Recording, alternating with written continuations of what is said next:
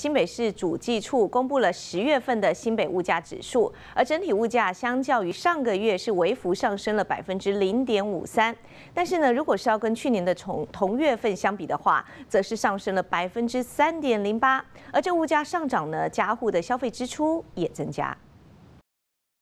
新北市主计处公布十月份的新北市消费者物价指数，随着下月电价的结束，民众负担减少，但秋冬服饰上市以及国内外旅游开放，整体物价指数较上个月微幅上升了百分之零点五三。那主要的原因呢，是来自于秋冬服饰新品上市，成衣价格呢大概涨了百分之六点九七左右。那再加上呢，本月呢我们放宽了边境管制措施，所以呢国外旅游团费呢较上月上涨了百分之二十一点三。与去年同时期相比，十月份的物价年增率为百分之三点零八。若以每个月消费支出约七万元的家庭为例，月平均消费就得多支出两千一百五十九元。那主要呢？是因为食材成本的上涨，外食费呢上涨了百分之六。那除此之外呢，还有家庭用品跟谷类及其制品呢，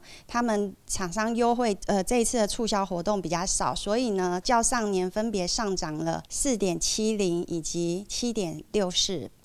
而国际金属钢铁交易价格连三个月下跌，但水泥、机电设备类及工资类涨幅都相对明显，尤其水泥高达百分之十七。因此，建筑业的建筑成本还是上扬，但有渐渐趋缓的倾向。